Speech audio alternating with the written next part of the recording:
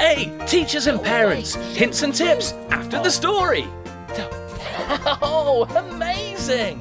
Hey, Steve, can you help me, please? Uh, not now, Maggie. I'm watching a great TV program about wild animals. oh. ha, okay then, ha, let's have some fun with a little Maggie magic.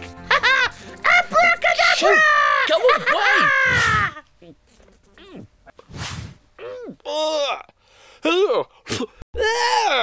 that didn't taste good. Ah! What happened? My tongue was really much longer and bigger than this. Hey, show me your tongue. Uh, well done. Oh, look, an elephant. Oh, that elephant has got bigger ears than me. Oh, wow. It must be fantastic to have really big ears. You can hear everything. Oh, hey! My ears are getting bigger and bigger. Oh, I can hear everything. I can hear everything. It's too loud. Oh, stop, stop. Oh, oh, oh, that's better. Hey, my ears were really big. Show me your ears. Make them bigger and bigger ears. Yeah. Oh, this is so crazy. It must be Maggie magic. Oh, where is that naughty, naughty bird? Uh, uh-oh. Look at that monkey. It's got really big eyes. Oh, hey, look at my eyes. They're getting bigger and bigger and bigger. Hey, what are they? They are eyes, they are eyes, they are eyes. Say it with me. What are they? They are eyes, they are eyes, they are eyes. And again, what are they? They are eyes, they are eyes, they are eyes. Oh, but hey, I can see everything! Wow! Oh, and I can see oh. Maggie! Maggie, I can see you! I'm here!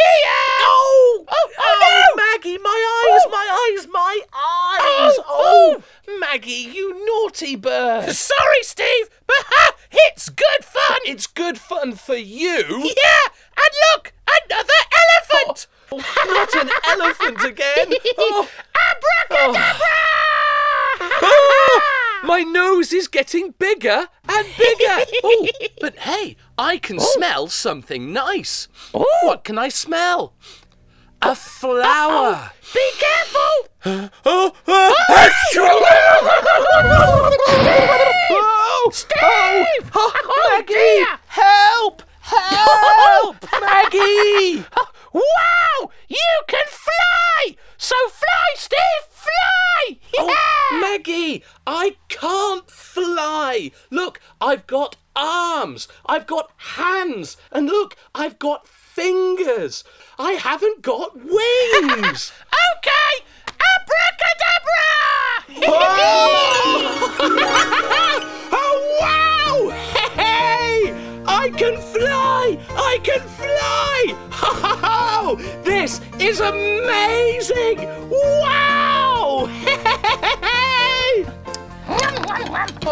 Maggie, yeah? I can't touch anything because I haven't got any fingers. How can I eat? eat like me! Eat like you? Yum, yum, yum. Okay. Yum, mm. Hey, what a crazy clip! Hi there. This clip came from the Wow Orange Book, and it's from a unit about the senses. So this video quickly reviews the body parts important for the senses, such as eyes that are used to see and ears to hear, etc. And it passively introduces the verbs to see, to hear, to touch, to taste, and to smell. If your child uses the Wow Orange Book, then they had a homework task, and it looks like this. The task is to simply watch this video story and number the pictures as they appear. Oh, and there's also a great colourful worksheet for teachers to use in class. which practices the new language together with the grammar from the previous unit, simple comparatives. So as you can see, the sentence here reads, the zebra's ears are bigger than my ears. But hey, as we're looking at senses, I would like to remind you that it's important to remember all five senses when teaching English to young learners. Children can vary greatly and can respond better to different sensory input. And it's quite often that we concentrate on what we can see and hear in the classroom, but we forget the other three. Multisensory learning incorporates numerous senses in order to better stimulate the brain, to help learners retain more information and to engage all the children regardless of their learning style. This way of teaching can also inject a lot of fun into the classroom. Why not try playing blindfold taste or smelling bottles or the activity feely bag? It's a great game to let all those senses run wild. For more information, see the Watts English Game Bank or the Teacher's Book.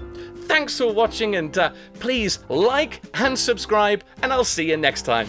Bye for now. Bye bye.